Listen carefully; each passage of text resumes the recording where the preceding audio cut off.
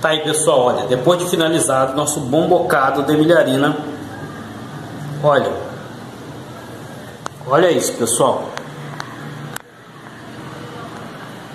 maravilha né? Vou cortar aqui ó, para vocês verem.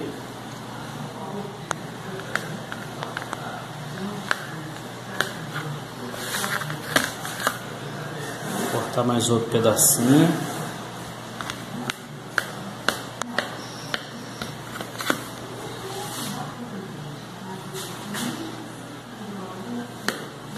Pessoal, super fofinho. Pensa num bolo gostoso. É esse que você vai fazer. Super molhadinho. Olha isso, pessoal. Bom bocado de milharina. Super molhado, pessoal. Bom, pessoal, para fazer o nosso bolo bom bocado, de milharina, eu vou usar aqui ó, 100 gramas de margarina, 5 colheres de sopa de açúcar. Vou colocar aqui, vou dar uma amassadazinha aqui no açúcar para misturar ele com a margarina.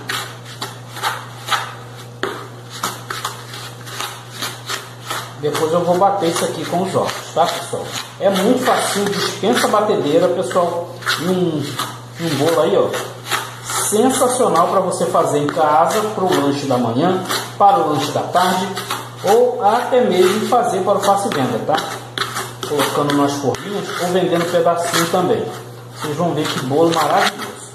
Olha, eu tenho aqui cinco ovos. Já coloquei aqui. A princípio eu vou dar uma desmanchada aqui com a colher.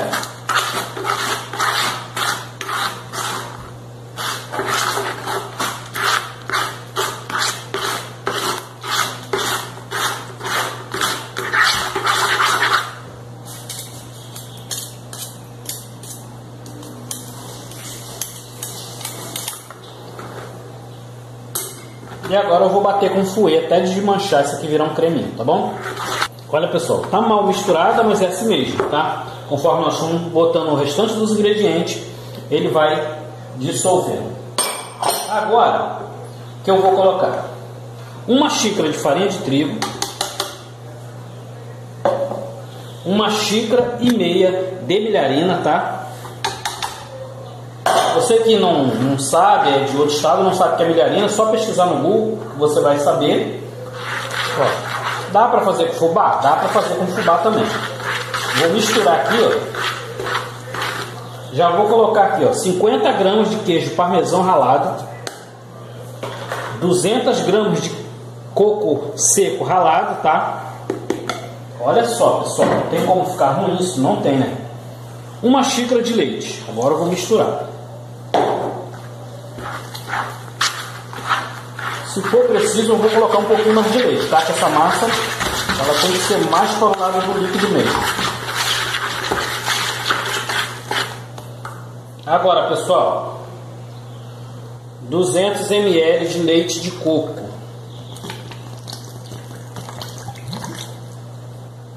E uma caixinha de leite condensado que vai dar cremosidade a esse bom bocado de milharina.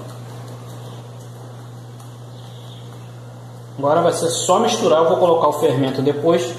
E a nossa massa está pronta, pessoal, sem mais dificuldade. Como você for fazer essa massa, deve você já ligar o seu forno, porque é muito rapidinho. Olha só. Já vou aproveitar e vou colocar uma colher de sopa de fermento químico, fermento para bolo.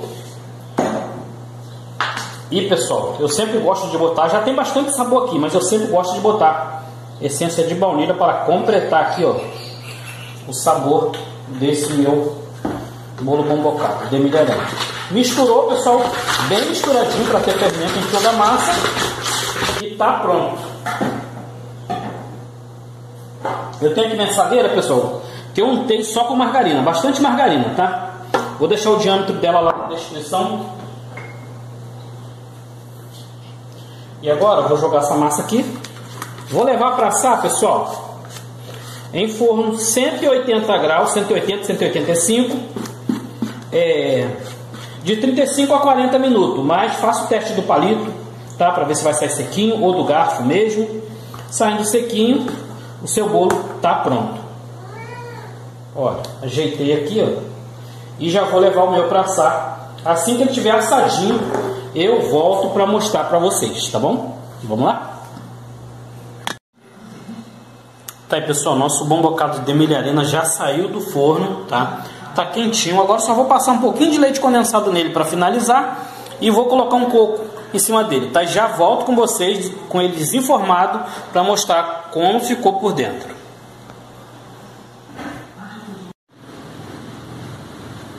Tá aí pessoal, olha, depois de finalizado nosso bom bocado de milharina, olha, olha isso pessoal, maravilha né, vou cortar aqui ó, para vocês verem,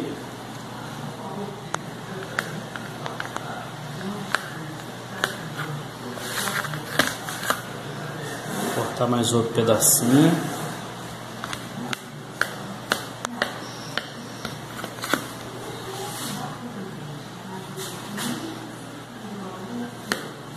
Pessoal, super fofinho.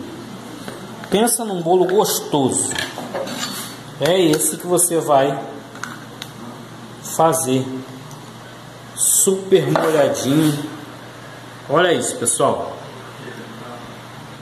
Bom bocado de milharina. Super molhado, pessoal. Delicioso.